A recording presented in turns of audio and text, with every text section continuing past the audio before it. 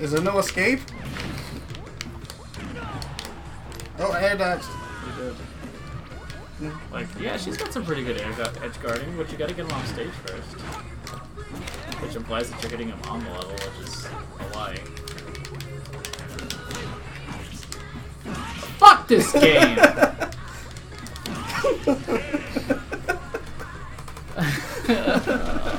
oh, sad. Ken lives.